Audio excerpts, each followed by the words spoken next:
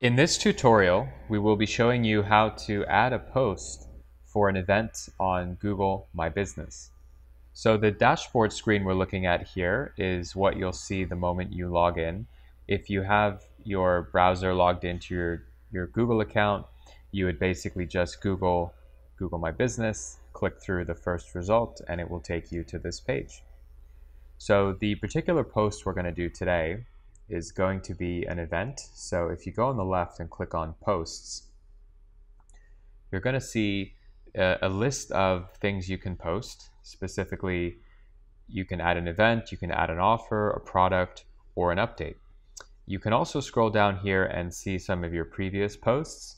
To the extent that you need some inspiration or a reminder of how it should look, you would just scroll down to what you've done before. But if this is your first time, that's not a problem. We're actually going to approach this as if we've never done it before. So we're going to add an event. So we would click on the Add Event button.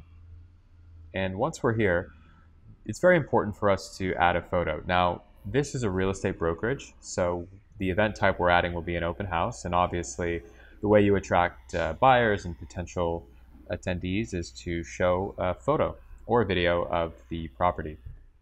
So in this case, we're going to add a photo. Now, once you click on that gray box, it's going to give you the, the upload box. So hopefully what we can do now is we can actually take a photo and we can actually drag it into that upload box. Give it a second to load and it looks good. So now in the event title, we want to, in this case, put the address of the property. So we're just going to pull the address right here, and we'll do something like this.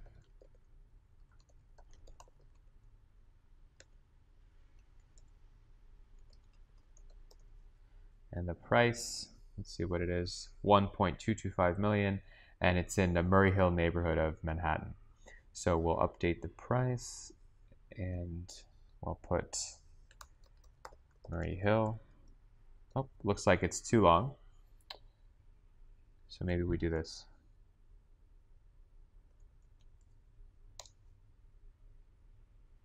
Yeah, okay.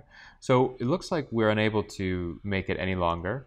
So in that case, we'll just forget about the neighborhood and remove that. And then we're going to add an event time. Specifically, the open house is on the 16th from 1 to 3.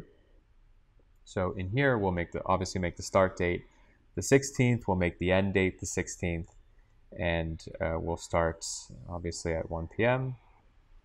And we will add end at uh, not 3 a.m. Certainly not the case. We want to end at 3 p.m. There you go. So let's see, there might be another option here, add more details. And perhaps what we can do is we can actually copy and paste the event title into the details, and then maybe we can just adjust it a little bit.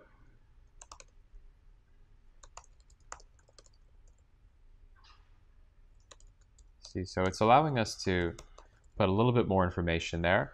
And uh, what we could also do possibly is to actually take the link of the property and we can go ahead and possibly paste that into the event details.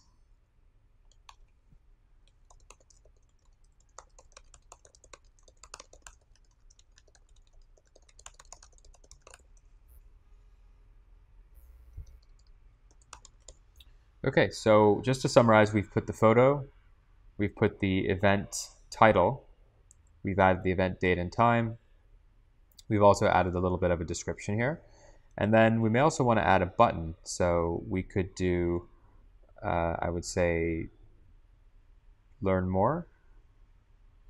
And in the learn more, we would probably want to put the link to the contact us form for our company's website.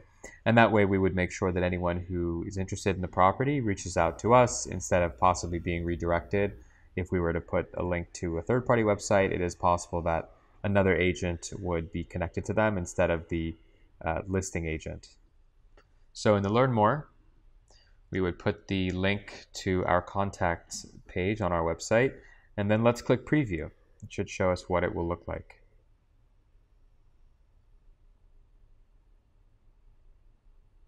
Okay.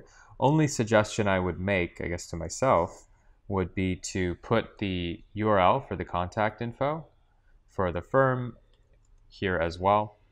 And then possibly up here, we would put listing information, or we could put listing details since we've already used the word information further below.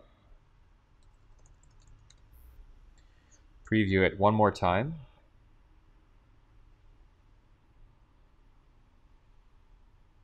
Okay, looks good to us. So we're going to go ahead and hit publish. And it says live on Google. So you can click view on search as well. And then it will open up a new tab, which should show you basically what the Google search results would be for your business by way of just putting in your business name on the top left.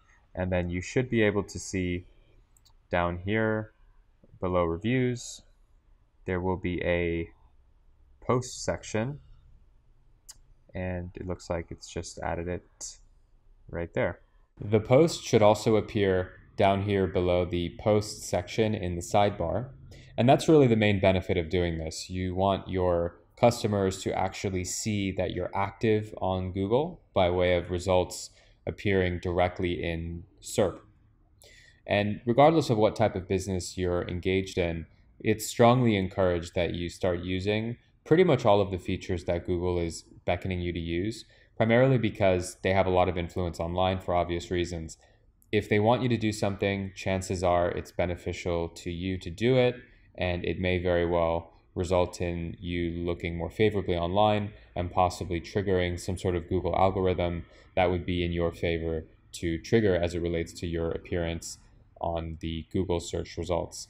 If you have any questions, leave us a comment below the video but otherwise, we wish you the best of luck out there as you run your business.